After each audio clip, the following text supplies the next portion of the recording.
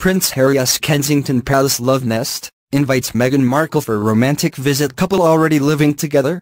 Is Prince Harry's romance with Meghan Markle more serious than royal watchers have been led to believe?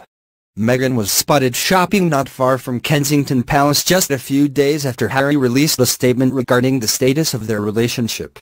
Meghan shopped at Whole Foods on Kensington High Street before heading over to Kensington Palace, according to photos published by Daily Mail.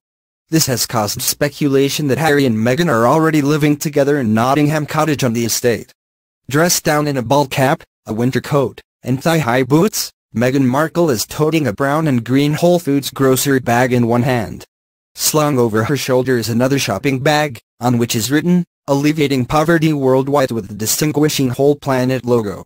Arriving at Kensington Palace, it appears that Meghan is waiting at the gates to be buzzed in as a security camera keep a watchful eye on the goings-on outside. The Mirror reports Meghan flew to London because she desperately wanted to spend time with Harry following his public announcement that the couple has been dating for a few months. Meghan Markle could have easily taken a page out of Kate Middleton's book and gone clothes shopping rather than shopping for healthy, organic foods. And what is Meghan planning to do with her purchases? The actress does love to cook, and that has been incorporated into her role on the television series Suits. Is Prince Harry's romance with Meghan Markle more serious than royal watchers have been led to believe? Meghan was spotted shopping not far from Kensington Palace just a few days after Harry released a statement regarding the status of their relationship. Meghan shopped at Whole Foods on Kensington High Street before heading over to Kensington Palace, according to photos published by Daily Mail. This has caused speculation that Harry and Meghan are already living together in Nottingham Cottage on the estate.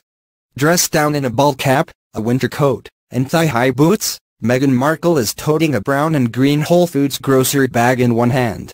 Slung over her shoulder is another shopping bag, on which is written, Alleviating Poverty Worldwide with the distinguishing Whole Planet logo.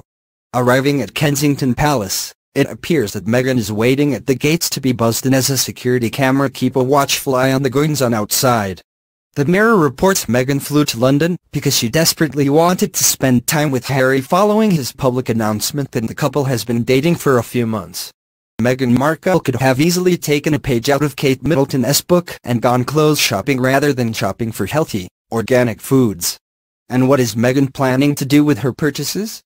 The actress does love to cook, and that has been incorporated into her role on the television series Suits. If Meg